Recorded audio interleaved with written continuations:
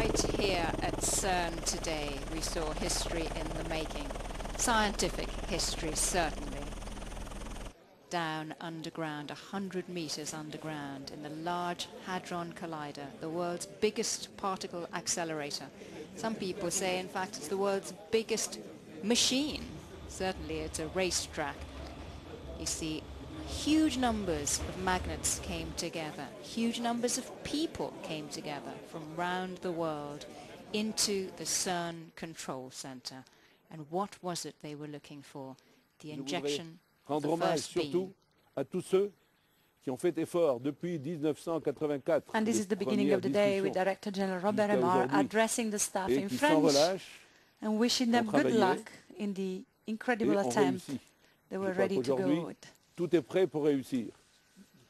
Ayez du courage pour la journée. Elle sera bonne, j'en suis certain.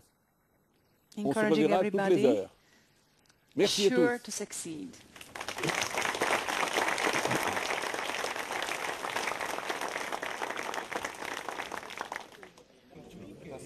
They certainly sounded confident, but in fact there were no certainties in this. It could have happened, maybe not. The event, it moved incredibly One, smoothly. Zero. Nothing. Yes, sir. Yes. And here's the beginning of the process. The first proton beam being injected. And Lyn Evans there in the center of our So screen. here you can see the, the position of the beam with respect to the center of the vacuum chamber. Uh, that scale is plus or minus 10 millimeters. So you can see the beam is oscillating, but it's got uh, the three kilometers from point. And this is the beam as it progresses in its clockwise trajectory this morning, very early, earlier than expected, there. step by step through all the eight sectors of the LHC machine.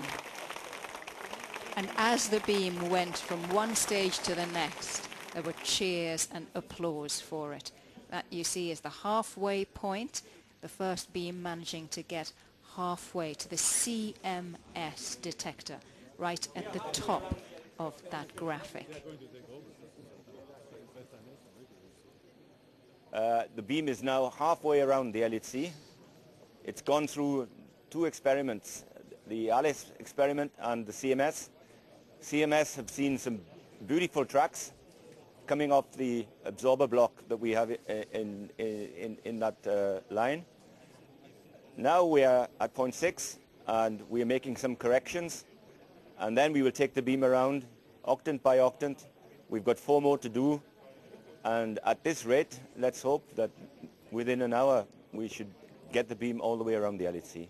And they did do get all the beam around the LHC within less than an hour. They actually did it in uh, ha- half an hour, so the whole process took a little bit more than an hour. The clockwise direction.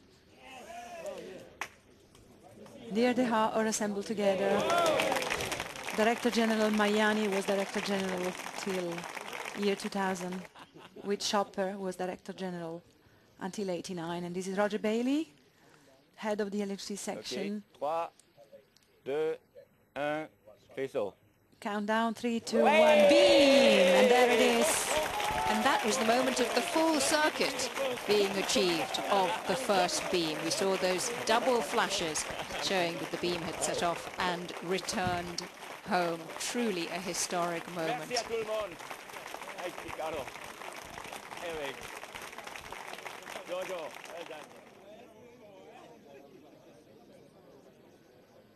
And again, we are seeing replayed images of the completion of the first circle. And that's the graphical representation of the achievement, which all happened by about half past ten this morning, extremely early, of the first day. I want to congratulate CERN and its Director General, Robert Aymar, for having really organized this worldwide event. And this is Pier Oddone, Director General of the Fermi. National Laboratory in Chicago, sending the beam around. which Wait till we collaborates with CERN in the LHC Enterprise. This morning everything went smoothly and I think we are quite excited, quite happy and again congratulations to everyone and please enjoy the, the, this result with us even if we have the distance in between. Thank you, everyone, and cheers. This is Director General Robert Aymar talking to Fermilab at the end of the morning when the first circle was completed clockwise. Back in the control room, I think this is the afternoon now. There on the side of your screen, you're seeing the red beam, which is the second beam that they launched at, uh, I think, about just after 2 o'clock in the afternoon. And it made its slow progress around enormous LHC. Roger Bailey there telling us from time to time what was going on.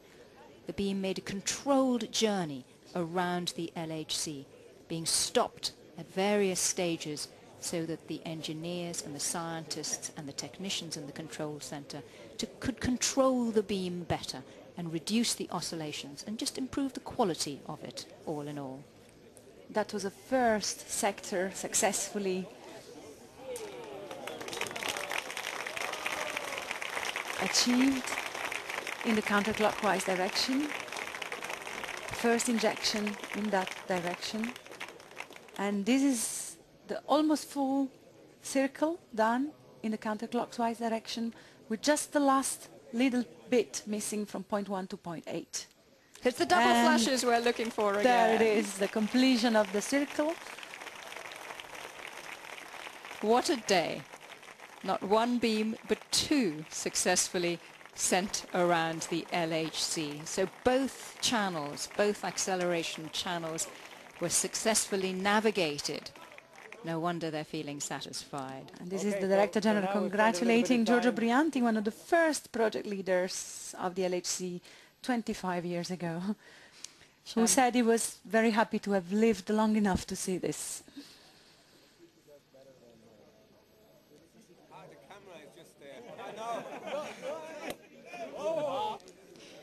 You can hear the popping of champagne corks. It was at 4.30 this afternoon that the celebrations really began in earnest because that's when the alcohol ban here at CERN is lifted and the partying started.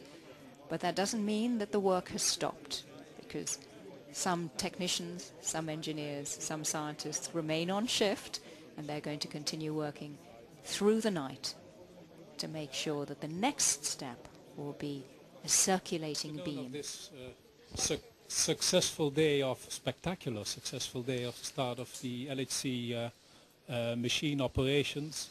Uh, I would also like to give some This is Jos Engelen at attention 5 for the the 5.30 for the final briefing of the the day. and uh, even if uh, they haven't seen beam-beam collisions yet, they will very soon. They have been in a position to register the particles that were sent to them by the LHC, not cosmic rays this time, by the LHC uh, at the time uh, that they needed to register them. So they were able to time in their detectors and make an enormous progress from well-prepared detectors to detectors that are really seeing what they should be seeing. So also there, at that front, uh, the LHC program today has really started and we can look back also uh, in that respect at a very, very successful day. Again, the image is replayed of the completion of the full circle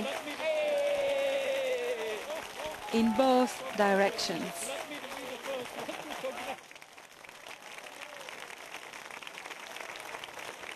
Uh, and we got not only one, but we got both beams.